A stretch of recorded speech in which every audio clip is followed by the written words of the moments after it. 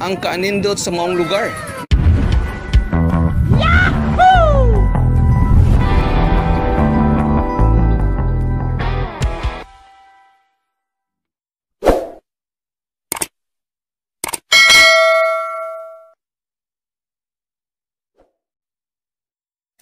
Okay, sa mayong buntag mga kagudis. So, mayong kabuntagong katong tanan.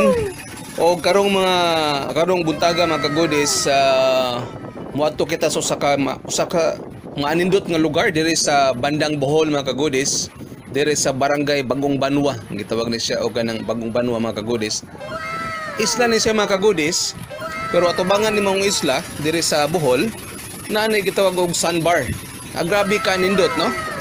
So kung makatiming taron mga kagudis nga medyo hunas, we hope so. Ah, makita gina to no. So karon mga kagudis na ana ta karon diri sa maong lugar. Kung sa ato makita diya mga kagudis kanang medyo puti diya nga naay mga nangaligo na munay sunbar actually mga kagudis na timing nagkita nga medyo nalita gamay unya medyo nitaob na siya no? Nitubo ng tubig. Pero kung hunas na siya mga kagudis this is totally sunbar gyud. Dry gini siya so pwede ta diha magsuba-sugba. Kanindot sa mga lugar mga kagudis so karon mga kagudis mo angkal na kita diri sa tunga-tunga sa dagat. Actually mga kagudis gipalibutan ni siya kanini ang dagat.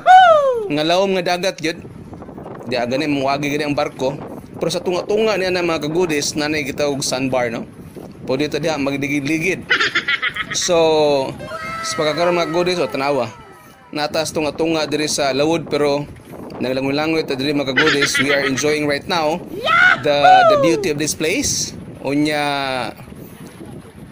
we hope so nga mo dugay-dugay pagtubo ang maong tubig mga kagudis para ato sang ma-enjoy you know ang kaanindot sa maong lugar no kaya muna karon mga kagudis ni tubo na gid ang tubig no so I think we are we are, now in the uh, muulit na ta no?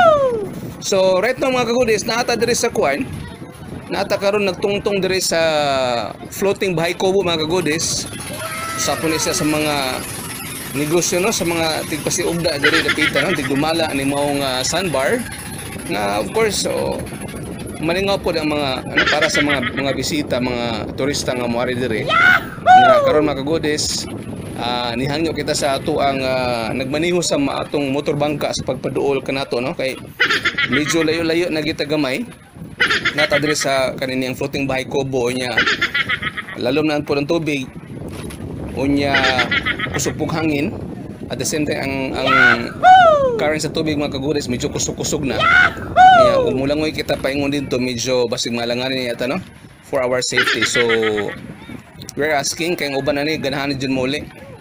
So muna mga kaguris um, nagpaduol ta gamay karon sa bangka para mo musakay kita. Kay medyo kusog-kusog ng hangin. Og uh, mangulo na ta mga kaguris